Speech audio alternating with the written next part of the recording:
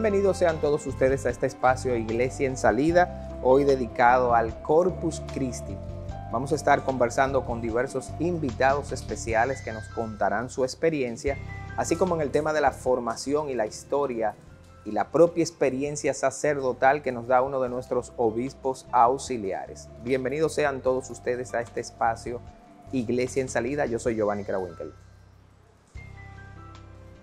Bendito sea Jesús en el santísimo sacramento del altar. Bendito sea Jesús, santísimo sacramento del altar. Conversemos primeramente con su excelencia Monseñor José Amable Durán Tineo, obispo auxiliar de esta arquidiócesis de Santo Domingo y que durante muchos años fue formador del seminario Santo Tomás de Aquino, preparando a los sacerdotes para vivir este sacramento de la Eucaristía y que nos puedan dar también eh, la vivencia de ese sacramento a todos nosotros. Así que disfruten de este conversatorio con Monseñor José Amable Durán.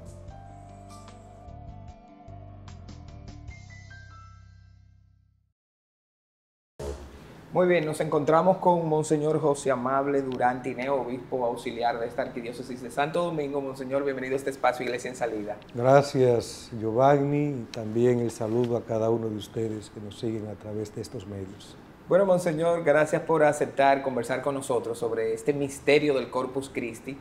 Eh, la Iglesia respeta y mantiene las palabras que Jesús nos dijo sobre este es mi cuerpo y seguimos diciendo tal cual Él lo dijo. Y a mí me impresiona, Monseñor, que en la historia estas palabras no han sido tocadas nunca en la liturgia. Y no pueden ser tocadas porque el sacramento se compone de materia y forma. La materia naturalmente es el pan y el vino, pero la forma es esa palabra que pronuncia el sacerdote y que lo hace en persona Cristo ¿Y por qué lo hace en persona Cristi? Porque ha sido configurado con Jesucristo. De tal manera que el que está ahí en la Eucaristía ya no es el sacerdote, es el mismo Señor. Y de ahí que el sacerdote diga, esto es mi cuerpo. Mi cuerpo, porque eh, es el mismo Jesucristo que está ahí, sacramentalmente en la presencia del ministro, en la presencia del sacerdote. Por eso el más santo entre los santos, si no es sacerdote, no consagra, porque necesita esa consagración y la vocación sacerdotal, que en definitiva ambas cosas, tanto la vocación como la consagración, es don de la gracia, don de Dios, porque Él lo quiere. Y la iglesia ha, visto bien mantener que sean los sacerdotes que consagren, que hagan ese acto sacramental. Solo ellos pueden hacerlo, solo el sacerdote. No eh, Eso quiere decir, Señor, que hay que pedir mucho siempre por las vocaciones, para que Dios nos mande sacerdote, porque sin sacerdote no hay Eucaristía. No hay Eucaristía ni hay iglesia tampoco. Ay, Dios. Sí, porque el obispo también es sacerdote, entra dentro y el papa es sacerdote. No hay un obispo sin ser sacerdote, la gente cree que, bueno, lo, hicieron obispo. No, a un sacerdote. Y, y cardenal a un sacerdote y papa a un sacerdote. Y figúrate lo que es la Eucaristía, es el misterio más grande. De hecho, por eso se recomienda que todos los demás sacramentos se celebren dentro de la Eucaristía, porque ella es la fuente y la cumbre de la vida cristiana. No hay nada más grande. La Eucaristía, todo tiende hacia allá como su fuente y ahí tiene también su principio. Y hay un misterio tan grande entre sacerdocio y Eucaristía que nacen en un mismo acto. De tal forma que no hay sacerdote sin Eucaristía ni Eucaristía sin sacerdocio. Y eso nos hace, Monseñor, pues preguntarnos cómo la iglesia prepara, y usted que fue rector eh, en el seminario tantos años preparando sacerdotes, nos dio la curiosidad al equipo de producción, y cómo la iglesia prepara un sacerdote que entienda lo trascendental, de que a través de él esa, esa forma, esas especies que ofrecemos en la Eucaristía, en bruto, digamos, es el material en bruto, se van a convertir en el cuerpo y la sangre, porque el primero que se lo tiene que creer, me imagino yo, es él. Así es. Es un proceso largo formar un sacerdote, porque la formación comienza en la propia familia. Por eso los primeros catequistas son papá y mamá. Entonces ese niño ahí, viendo y oyendo lo que hacen sus padres, ahí los padres le van transmitiendo esa fe, le van, le van transmitiendo el sentido de trascendencia, la grandeza de Dios, el poder de Dios. Y después eh, lo que hace el catequista también, y la comunidad cristiana, y allí donde vive la Eucaristía y la pastoral juvenil, y después de que entra la pastoral vocacional, ya específicamente sacerdotal, y ahí lleva todo un proceso hasta que entra en el seminario, y en el seminario hay cuatro dimensiones fundamentales eh, que comprenden el área de la formación sacerdotal, que es la dimensión humana, la dimensión espiritual, y en esta dimensión espiritual es fundamental el encuentro con Jesucristo. Si tú no haces una experiencia de un Jesucristo vivo, al el encuentro personal de personal, del seminarista, del que va a ser sacerdote. Con Jesucristo, por eso siempre se hace la advertencia.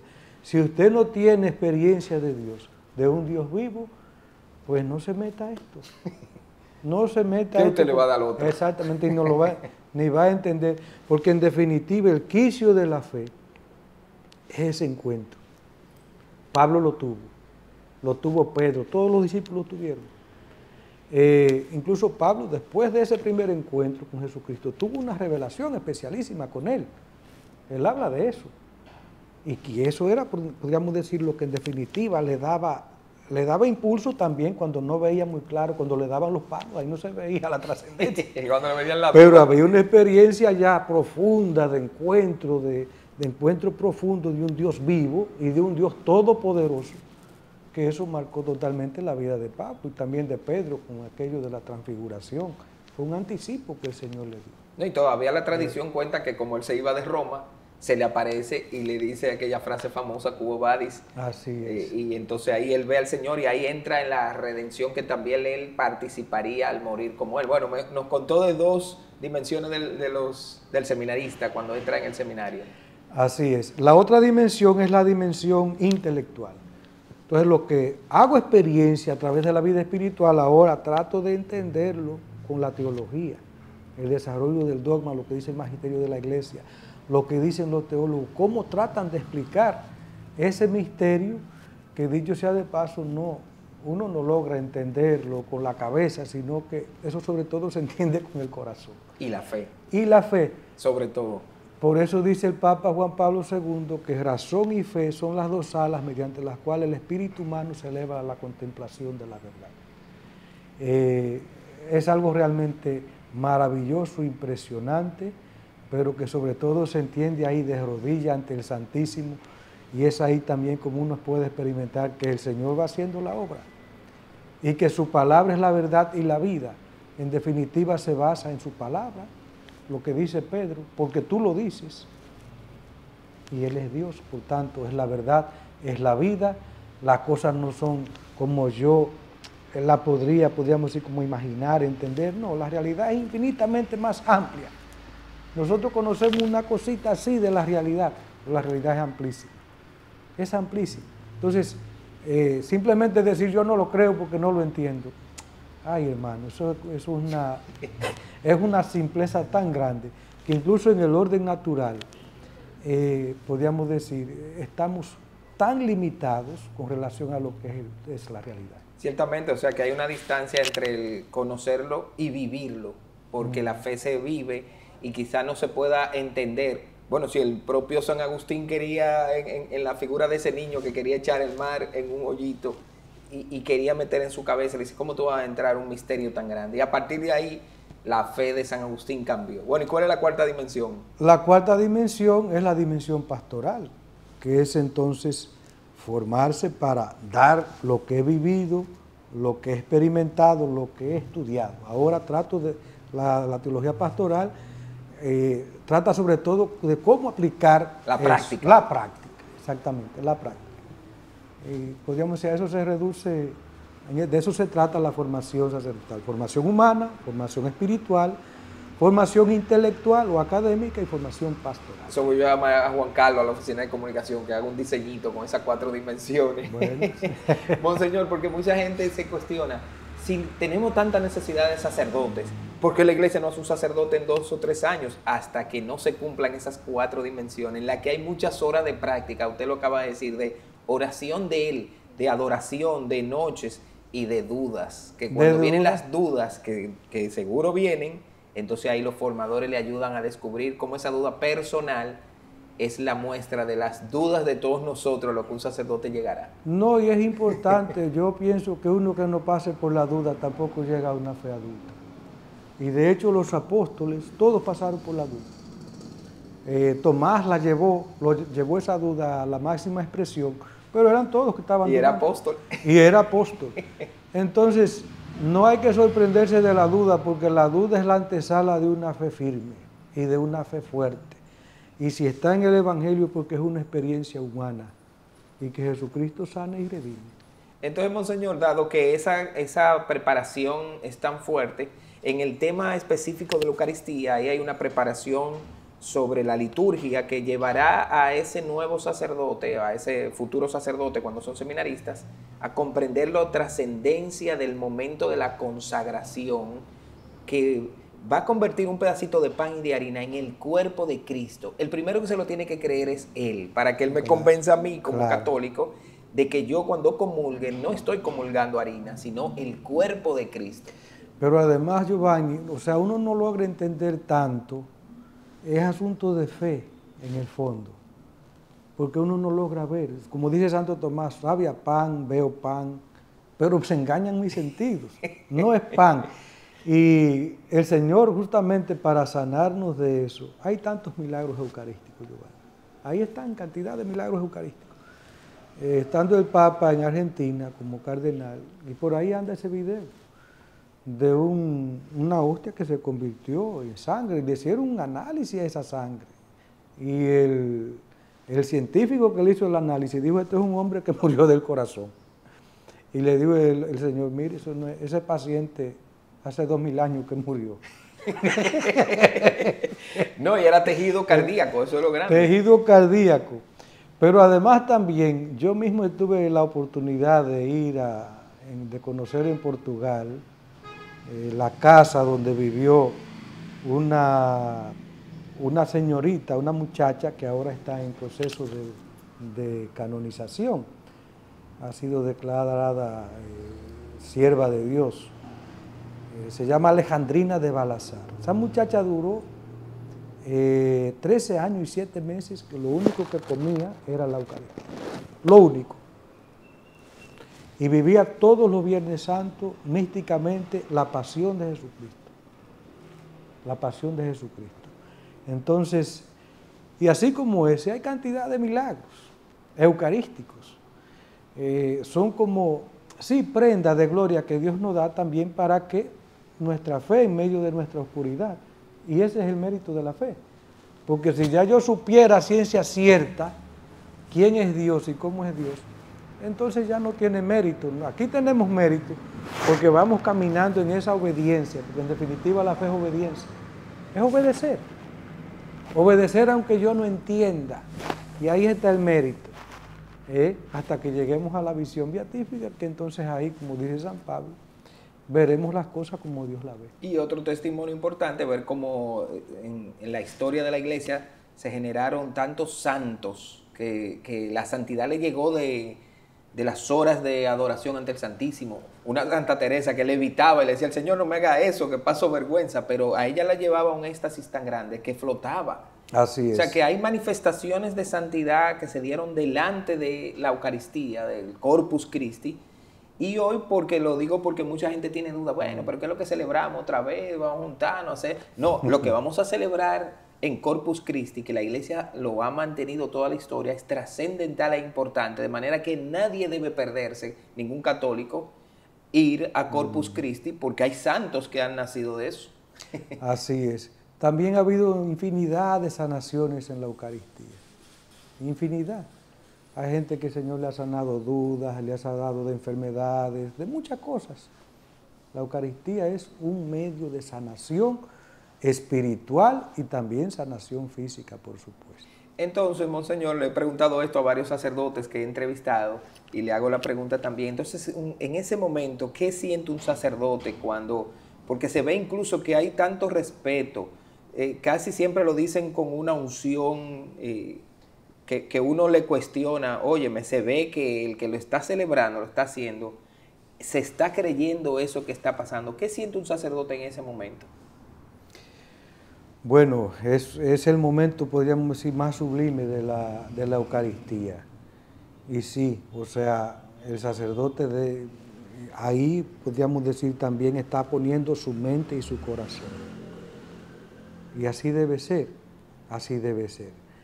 Y es posible que no sienta nada, que no vea nada, pero también es posible que sí, que en ese momento, eh, yo he tenido en la Eucaristía muchos momentos donde el Señor como que te da, como que pasa, te da, tú, te engranoja o tú sientes la presencia del Señor.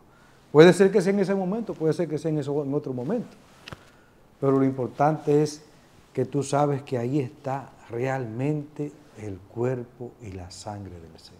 Qué maravilla, Monseñor. Qué bueno que podamos seguir en la historia de la iglesia manteniendo, eh, siendo obedientes, que usted usa esa palabra, obedientes al pedido del Señor y en la fe de que Él dijo, este es mi cuerpo. Ahí es que se basa, esa es la gran columna de ese sí, con otra orden. ¿Eh? Hagan, esto en conmemoración mía.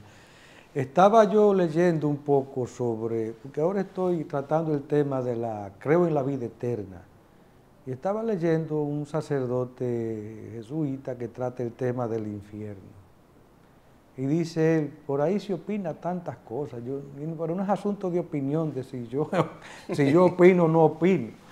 Es que Jesucristo ha hablado 15 veces de la posibilidad del infierno en el Evangelio. Entonces lo mismo podemos decir con la Eucaristía. Eh, las cosas no existen porque yo la crea o la entienda o no la creo o no la entienda. No, es que lo que es, es. Créalo yo o no crea. Por ejemplo, que yo me voy a morir. Eso yo quiera o no lo quiera, me voy a morir. Yo puedo tratar de negarlo o lo que sea, pero eso yo, es una realidad que está ahí y me voy a abocar a ello, quiera yo o no quiera, entiéndalo o no lo entienda. Entonces, Así son las realidades que nos trascienden, las realidades que vienen de Dios, los misterios que vienen de Dios. Eh, no son asuntos opinables, es que el Señor, el que es, el que ha dicho yo soy el que soy, el que ha guiado la historia de un pueblo, que dicho sea de paso, la veracidad de las Sagradas Escrituras, está en que tanta gente, tantos profetas, un pueblo entero comulgando con una sola fe con una sola fe, y lo mismo la iglesia, en todos los lugares del mundo, una sola fe, una sola fe. Y, la permanencia en el tiempo y la unidad a pesar de esa diversidad tan grande que es la iglesia. ¿Acaso eso no es también un motivo de credibilidad? Pero es sobre todo porque, por eso mismo, porque el Señor lo ha dicho. Este es mi cuerpo, esta es mi sangre, hagan esto en conmemoración antes de entrar en, este proceso de adoración al Santísimo, la palabra comunión, mucha gente solo la ve como comulgar, ponerse en la boca la hostia. Y la comunión es la comunión de la iglesia que vive eso, pero mucha gente se abstiene muy fácilmente, deja de comulgar. Aquí también viene una cuestionante. ¿Qué tan importante es para un creyente católico eh, que tiene que comulgar, porque eso, eso le va a dar una comunión con Dios y con Jesucristo. Y ciertamente, aunque la iglesia nos advierte no comulgar en pecado, tampoco nos dice deja de comulgar. Y pone quizás ciertas condiciones momentáneas hasta que llegue el sacramento, porque también nos dice, ok, hay un problema, pero todo hay la solución, que es el sacramento de la reconciliación. Ahora, caemos en la trampa de ni comulgar ni confesarnos. Y eso tiene unas consecuencias en la, en, la fe. ¿Qué pasa ahí, Monseñor, en esa dinámica? Eh, la planta que no se alimenta o el ser que no se alimenta, ¿qué termina, qué termina pasando con esa se planta? Muere. Se muere. Se muere la fe. Entonces, la Eucaristía es el alimento espiritual del alma. Y yo pongo la comparación siempre en este sentido del cuerpo. El cuerpo y el pan natural. El pan natural entra a nuestro cuerpo y nos alimenta aunque yo no me dé cuenta de ese proceso. Yo no me doy cuenta, simplemente me lo como. Pero ese pan eh, tiene una sustancia que me hace crecer, aunque yo no lo note. Después que me doy cuenta, ah, pero mira, ese muchacho estaba pequeño y ya está un hombre. Lo mismo pasa en la vida espiritual. El que no se alimenta de la Eucaristía con todo lo que ello implica, implica la palabra, ese encuentro con Jesús, pero sobre todo recibirle a Él mismo, se queda un enano espiritualmente. Un enano. Es decir, no crece. Pero sobre todo lo que tú decías, la comunión, la comunión con el Señor y la comunión con toda la iglesia, porque eso es la iglesia, el cuerpo de Cristo. Cuando yo estoy recibiendo a Jesucristo, estoy siendo iglesia, cuerpo místico de Cristo, porque el Espíritu de Cristo entonces hace morada, como él mismo lo ha dicho, la Trinidad entera hace morada en mi corazón, porque la Trinidad es, la, la divinidad, el Dios que tiene una sola naturaleza, la naturaleza divina. Yo he visto sacerdotes, monseñor, que cuando en la asamblea sea así, dan la comunión y hay 100 personas y solo 10 comulgan, el sacerdote dice un momento, hey, ¿qué pasa aquí? ¿Por qué? ¿Qué pasa? Vengan a los matrimonios que tengan problemas, vengan, vamos a hablar, vamos a buscar la solución. ¿Qué pasa que los niños no están haciendo la primera comunión? Que la iglesia mantiene esa tradición, por cierto. A los niños introducirlos a una conciencia plena, no es decirle, mira, tráeme al niño y el domingo hace la primera comunión. Les hace pasar por un proceso en el que entiendan que él va a recibir. Así es. Es una maravilla, monseñor. Eh, y el niño ya sí sabe distinguir el pan natural de la Eucaristía está en capacidad de comulgar, porque básicamente es eso, básicamente es eso. Una vez hay una historia de, Pablo, del Papa Pablo VI que una niña se metió a la, le dio la comunión, le dijeron, eh, Santo Padre, esa niña no ha hecho la primera comunión. Y él le preguntó, ¿qué es esto que dice? Es el cuerpo de Cristo. Y él le respondió, usted sabe más que ella. sabe más que ella.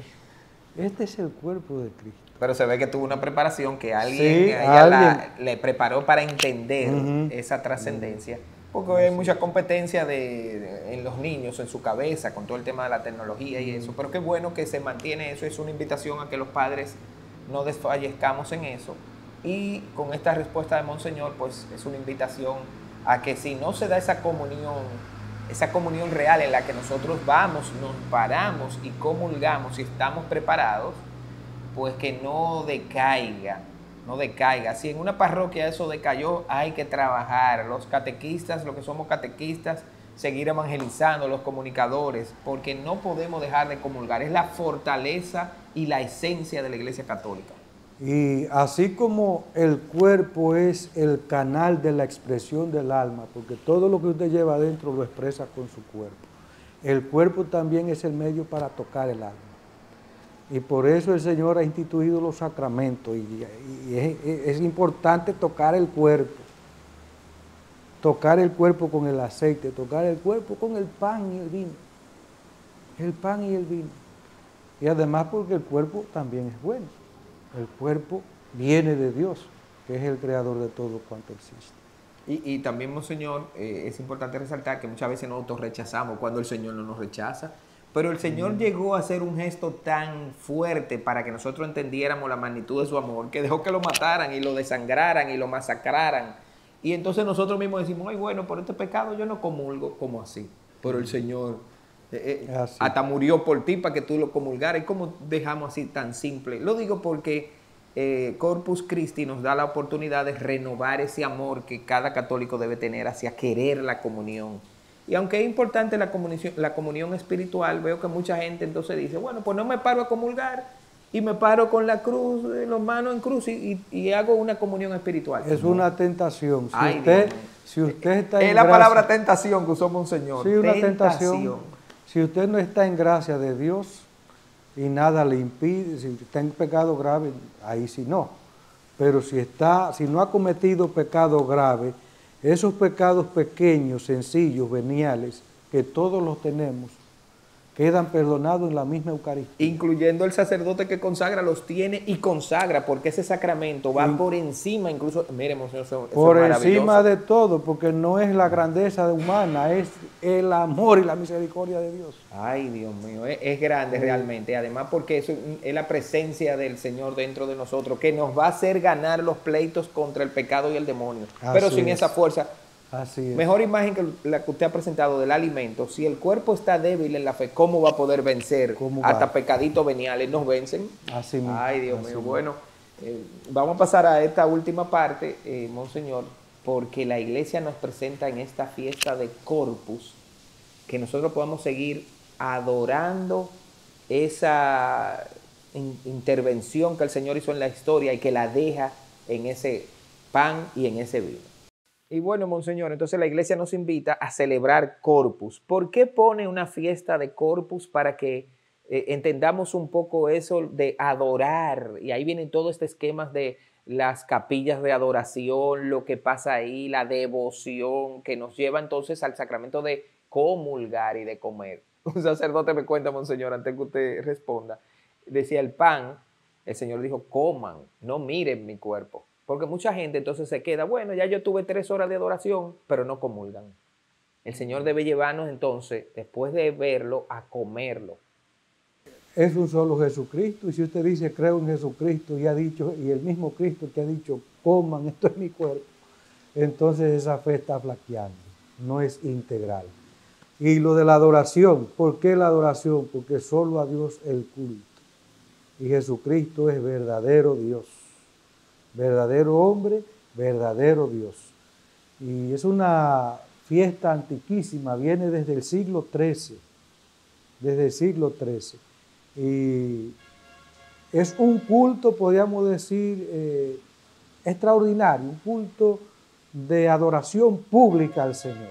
Por eso se recomiendan las procesiones eh, como esa forma de reconocer al Señor vivo, presente, real, con todo lo que es su persona, su cuerpo, su sangre, su divinidad en la Santísima Eucaristía. Qué maravilla. Y entonces, bueno, estamos todos invitados a participar siempre, no solamente este año. Si usted está viendo este contenido eh, en el futuro, siempre será una invitación a que eh, asistamos. De hecho, Monseñor, gracias a Dios el Estado Dominicano incluso lo declara no laborable para que los católicos asistamos, no se puede quedar nadie. Eso facilita la, la participación. Pero aquí mismo en la Arquidiócesis de Santo Domingo usted puede unirse. Este año se va a hacer por vicaría eh, territoriales episcopales. Nosotros allá en el norte los tendremos en el santuario de Chonsta, que están ahora celebrando también un año jubilar. Eh, este ha sido el motivo por, la- por el cual hemos elegido este lugar, pero también eh, la Vicaría Territorial Este, la Vicaría Territorial Oeste, la Vicaría del Santo Cristo de los Milagros, eh, la zona central lo tendrán en el Distrito Sur, también en el Distrito Norte. Es decir, que hay eh, muchos lugares donde usted puede ir a hacer también presencia y a dar este culto público de adoración a nuestro Señor Jesucristo eh, presente en la Santa Eucaristía. Bueno, hasta los no creyentes, Monseñor, lo tendrán en su boca ese día. Bueno, porque se irán de, de fiesta y se irán como no, no laborable. La razón será Corpus Christi, aunque no lo entiendan, pero ahí el Señor podrá quizá tocarlo y a lo mejor una de las transmisiones le toca. Uno nunca sabe lo que Dios puede hacer. Aquí viene finalmente el testimonio de que nosotros como creyentes creamos en eso. Bueno, Monseñor, denos la bendición y que la gente invite a que la gente pueda vivir la transformación de su vida a través de la comunión. Primeramente agradecer al Señor este espacio y sobre todo agradecer este eh, sacramento de amor. Porque la única explicación que hay es el amor infinito de Dios que ha querido quedarse con nosotros en este sacramento admirable. Eh, pedimos al Señor que les bendiga, que aumente cada día nuestra fe, que bendiga a nuestras familias, nuestros hijos, que bendiga a las comunidades cristianas, que les bendiga el Dios Todopoderoso, Padre, Hijo y Espíritu Santo, y que esta bendición les alcance a todos y permanezca para siempre. Amén. Gracias, Monseñor, por haber estado en este espacio. Bueno, y estaremos por su vicaría para seguir contándole a la gente en esta iglesia en salida todo lo que se mueve allí. Tenemos muchas cosas que contar. Bueno, Siga usted con este espacio. Muchas gracias. Monseñor.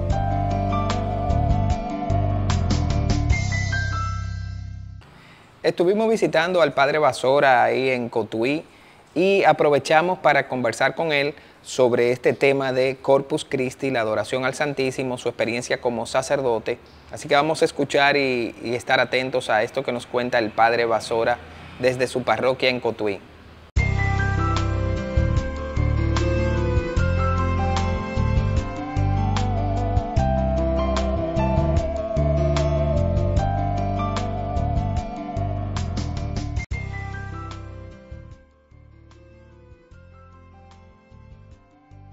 Desde esta parroquia San Juan Pablo II en Zambrana, en Cotuí, hemos querido venir a conversar con su párroco, el padre Basora, que nos cuenta un poco su experiencia eh, al vivir esos momentos tan importantes de la consagración, a propósito de que estamos en el marco de la fiesta de Corpus Christi. Para nosotros es muy importante escuchar a nuestros sacerdotes, sus vivencias, también por la formación que él da en esta parroquia a la comunidad sobre cómo vivir la fe a través de la Eucaristía. Escuchemos al Padre Basora. En nombre del Padre, del Hijo y del Espíritu Santo. Padre Santo, queremos darte gracias por este día, por esta mañana. Gracias Señor, te damos porque nos apresuramos para celebrar el cuerpo y la sangre de Cristo, el cuerpo de Cristo este próximo jueves. Bueno, un saludo para todos y para todas. Quiero en este día felicitar a Televida por su programación, por todo lo que está haciendo, especialmente porque el Evangelio sigue llegando a todos los rincones de nuestro país y del mundo entero. Televida es realmente que se ha metido en el corazón de la gente y está haciendo una, una obra maravillosa de evangelización. Fíjense que ahora vamos a celebrar Corpus Christi. Es, digamos así, la extensión del jueves santo. Es una fiesta, una solemnidad que nos va a hablar del el cuerpo y la sangre de Cristo, pero de manera real de manera vivida. Ahora los cristianos vamos a tener un día consagrado, un día entero consagrado a la celebración del cuerpo y la sangre de Cristo. Es decir, la promesa que Cristo hizo, hagan esto en memoria mía, eso que Cristo nos mandó, mandó a su iglesia a que se perpetuara, se va a dar ahora de manera muy explícita, concreta y hermosa el jueves, ese jueves del Corpus Christi, el cuerpo y la sangre de Cristo. El Corpus Christi nos lleva a nosotros a una, a una vivencia grande con la Eucaristía, a un conocimiento grande del amor de Dios.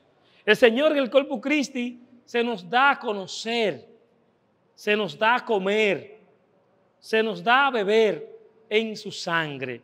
En el Corpus Christi descubrimos a un Jesús que está con nosotros. Es lo primero. Jesucristo está con nosotros. Nos acompaña, nos da su alimento, nos da la vida. En Corpus Christi descubrimos a Jesús que viene a fortalecernos en medio de la anemia que tenemos, de una anemia espiritual. Viene el Señor a quedarse con su pueblo. Por eso yo quiero, en este Corpus Christi que vamos a celebrar, decir a la gente que se acerque a comulgar a Jesús consciente. No vamos allí a recibir un pedazo de, pan cualquiera.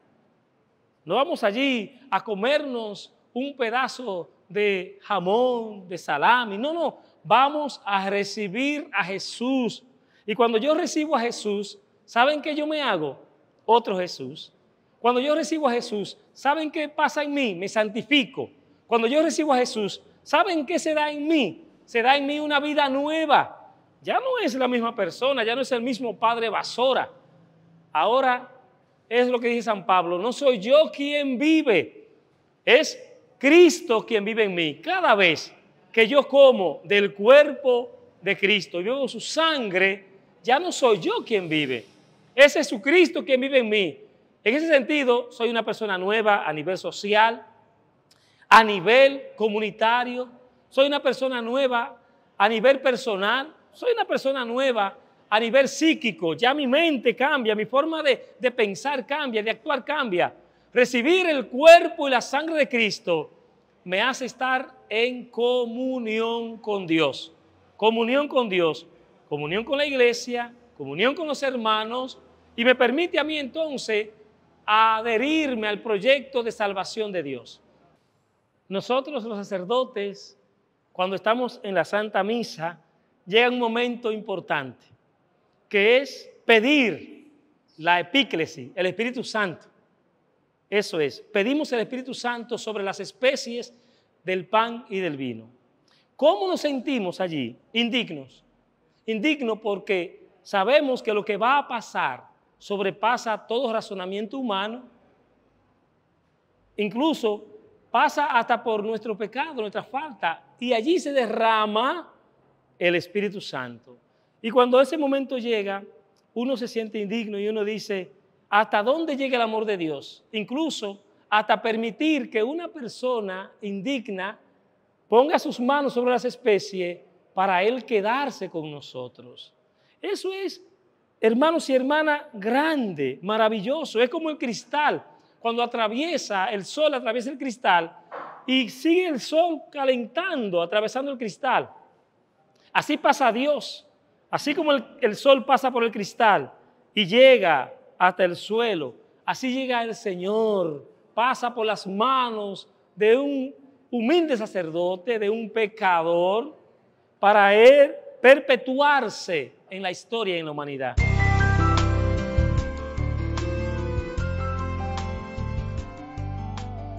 Hermanos y hermanas, estamos aquí en la parroquia San Juan Pablo II de Zambrana. Soy el padre Julián Rosario Basora. Esto es maravilloso lo que la iglesia va a vivir el próximo jueves vamos a tener una de las grandes celebraciones de toda la iglesia.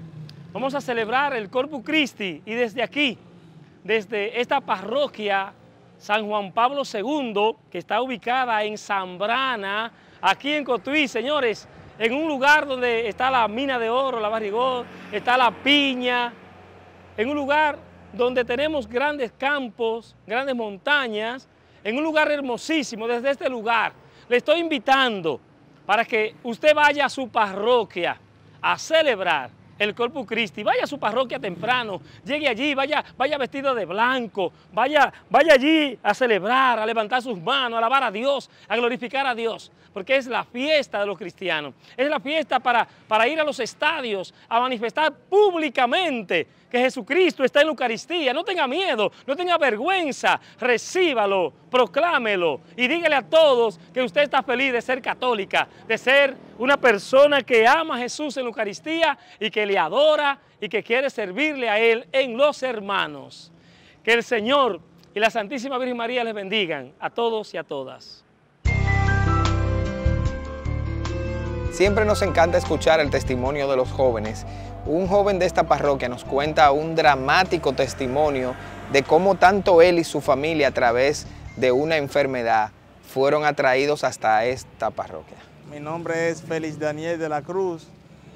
Provengo de una familia de tres sacerdotes y casi cuatro con uno que entró al seminario. Y quiero dar un testimonio de una obra muy grande que el Señor hizo en mí y en mi familia. Yo tuve un accidente en el año 2016, pero a través de ese accidente fue un momento muy doloroso, pero al mismo tiempo muy especial y muy lindo así decirlo, porque nos acercamos más a Dios, buscamos más de Dios.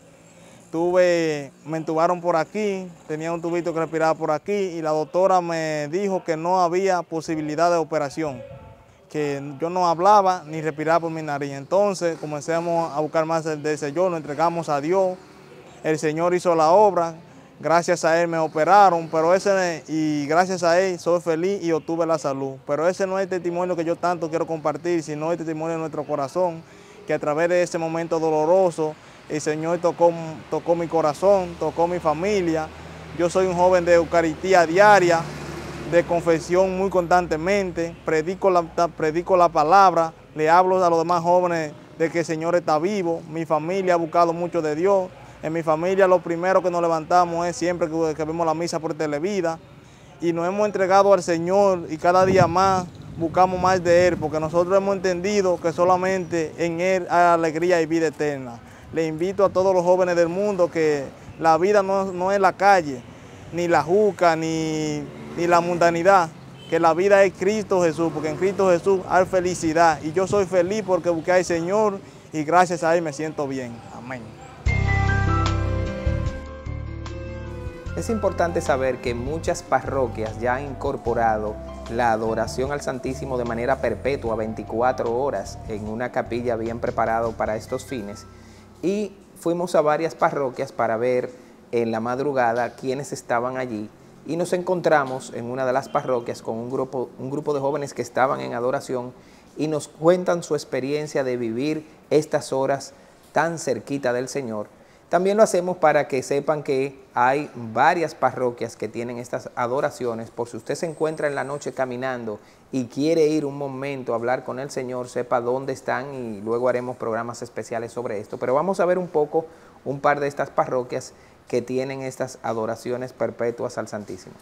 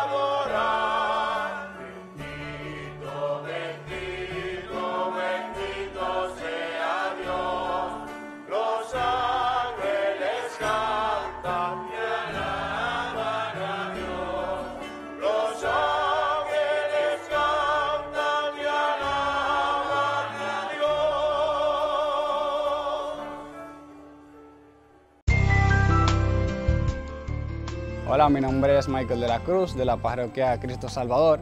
Yo vengo una vez a la semana aquí al Santísimo. Y no solo eso, sino que vengo cada vez que puedo, cada vez que, puedo venir a visitar a Jesús. ¿Y por qué lo hago?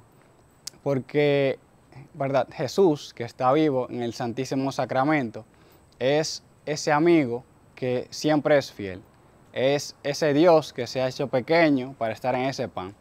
Y cada vez que vengo aquí es como un encuentro con, mi mejor amigo. Cada vez que vengo aquí es hablar, es agradecer todo lo que Él me da, es pedirle eh, verdad, perdón por aquellas faltas que cometo. Eh, este tiempo que paso en adoración con Jesús me ayuda a discernir cada decisión que tomo, tanto en el trabajo, en la universidad, eh, en mi vida como tal, en cada decisión que tomo Siempre vengo aquí a consultarlo primero con Jesús, a ver qué Él me dice, qué Él piensa, qué decisión debo tomar, porque al final yo quiero hacer su voluntad, yo quiero hacer lo que Él me dice, porque yo sé que eso es lo mejor. Cada tiempo que, que paso aquí en el Santísimo no es tiempo perdido, es un tiempo que todo lo contrario es una inversión, que diríamos así, para la vida eterna, es una inversión para estar en el cielo. Y aunque podría parecer desde lo externo eh, un poco aburrido venirse, sentarse aquí o, ver a otra persona adorando eh, frente a Jesús, que quizás no comprendamos mucho lo que está sucediendo, no se necesita mucho para, para estar en comunión con Jesús, simplemente sentarse, reconocer esa presencia viva y real de Jesús y tratarlo como un amigo, tratarlo como ese amigo que, que siempre está en todo momento y que cuando salgo de aquí, de, de- de la adoración, de, de un momento de contemplación, a veces vengo y ni siquiera hablo porque Él también entiende mis silencios. Eh, cuando salgo de aquí, vengo reno- salgo renovado, salgo con ideas nuevas, salgo con incluso proyectos en mente y siempre que puedo, ya es una costumbre para mí pasar por aquí, no importa si estoy cansado de la universidad, no importa si estoy cansado del trabajo, porque cuando vengo aquí y, y estoy con Jesús, aunque sea 5 o 10 minutos, eh, es algo que no cambiaría por nada en el mundo, es una satisfacción y una paz que me da inmensa.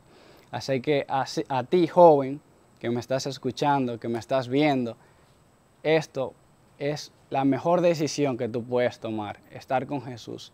La mejor decisión que puedes tomar en tu vida y que no te arrepentirás es comprometerte con venir a adorar a Jesús, con hablar con Jesús, agradecerle y te prometo que eso cambiará tu vida. Así que ánimo.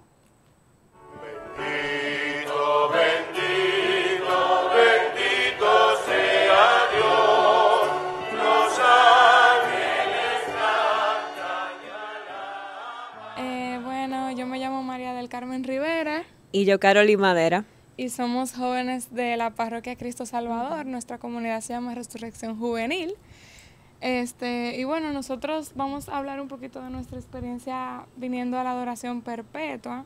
Eh, inicialmente nosotros veníamos como normal, casual, a visitar a Jesús. Eh, iniciamos a venir en enero, a venir asiduamente, o sea, a venir todas las semanas. Veníamos los jueves con un grupo de jóvenes de nuestra comunidad también, veníamos, cantábamos y ese tipo de cosas. Y luego el Señor nos llamó de una manera muy inesperada, Muy especial. como Él lo sabe hacer, Sí. para anotarnos y asumir una hora a la semana y acompañarlo en el Santísimo. Entonces nos anotamos los martes Los a las martes 9 de la 9 a noche. 10. Sí. Exactamente Sí. para venir a esta parroquia. Eh, realmente esta experiencia ha sido de mucha bendición. En este año nos propusimos como juntas, nosotros somos, Sacar un- aparte de hermanas en comunidad, somos muy amigas. Sí. y sacamos como un- una parte para visitar al Señor semanal. Esa es nuestra meta del año. Ha sido una de nuestras metas realmente. Nosotros, bueno, presentamos nuestra comunidad, eh, Oh. presentamos nuestras familias, eh, nuestra vida en general. Realmente es como sacar ese espacio en la semana para entregárselo a Jesús y como que todos esos proyectos y toda la semana eh, dedicársela y como que Él haga lo que Él entienda, buscar cómo hacer su voluntad. Y realmente es muy reconfortante venir y hacer como ese alto en la semana para dedicárselo al Señor, que en verdad una hora es poquito para lo que uno debería dedicarle a Él. Una Así cosa, es. y hay jóvenes que no se llenan con algo así, que no, no les es satisfactorio, que se aburrirían. Entonces, cuénteme un poquito, mm, ¿esa hora eh, es suficiente como para usted salir, ustedes salir llenas, contentas? Eh, ¿No se cansan para el otro día tener que ir trabajo, estudio, etcétera? No para Al nada. contrario. Uno sale renovado realmente. Exacto, este es como el desahogo de la semana para mí, honestamente. Cada vez que yo vengo, incluso hoy yo escribía en mi cuadernito, yo tengo un cuadernito donde anoto lo que el Señor me diga cuando yo lo visito, lo que sea. Y yo notaba que me sentía abrazada inmediatamente yo entré al Santísimo.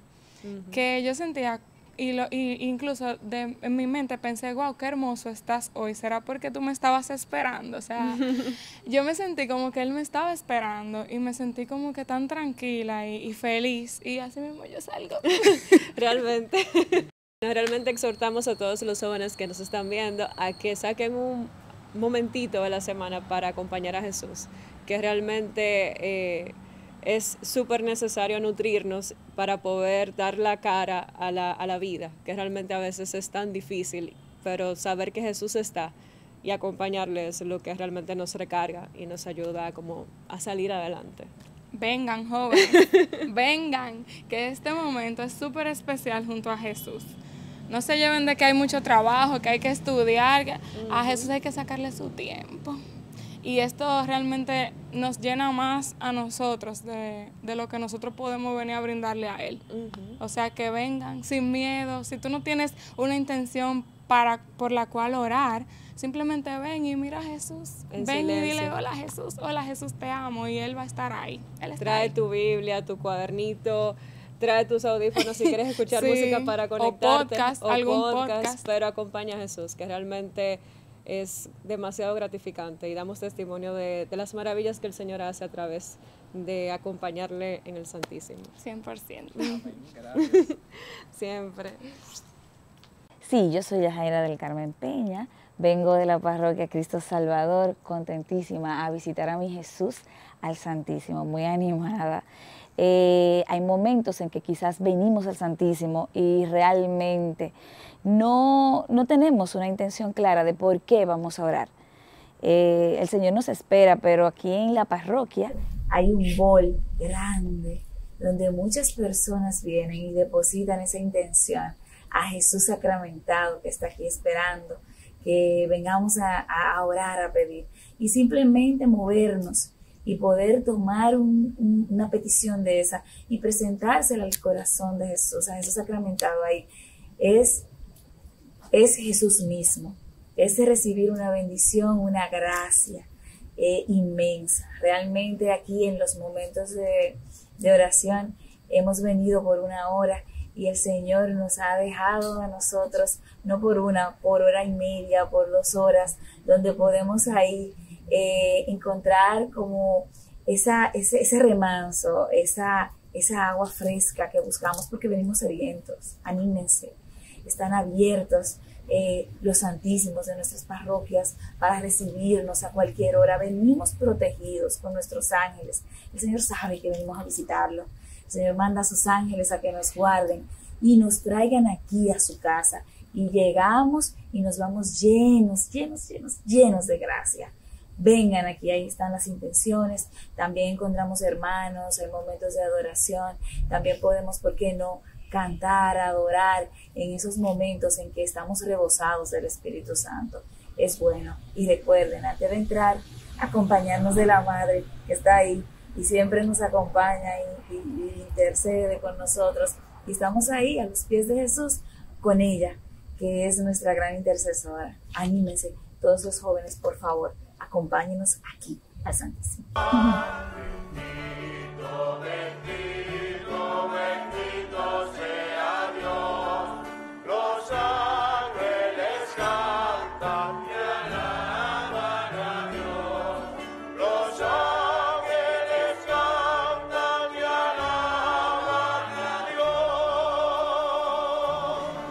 Así termina este espacio Iglesia en Salida dedicado a introducir este tema del Corpus Christi. Usted, eh, si no lo vivió, pues puede buscar en nuestro canal de Televida en vivo este contenido y compartirlo y también mirar las transmisiones de todas las celebraciones que se hicieron en la arquidiócesis, en cada vicaría, las homilías, las vivencias, para que sea esta transmisión también buena para alimentar nuestra fe y el conocimiento. Gracias por haber estado con nosotros.